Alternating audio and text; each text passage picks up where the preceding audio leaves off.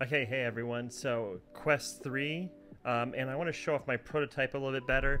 I think that my other video was maybe a little bit too heavy edited. I don't know. Just gonna try it out. So let's look at my prototype and see the clarity of um, the Quest 3. So as you can see right now, these hands are absolutely gorgeous compared to the Quest Pro and the Quest 2. Um, and the performance right now, I'm recording, um, you know, nearly at a 4K, you know, 3K resolution, and it's not skipping a beat. So as you see right now, the, this little animation, pretty cool, you know, playing with it a little bit.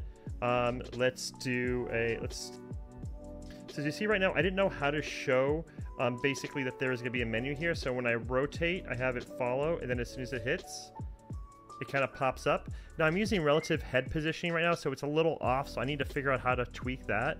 Um, but as you see right now, the um, parenting is awesome, and the clarity of this compared, look at these iconography, like the clarity is absolutely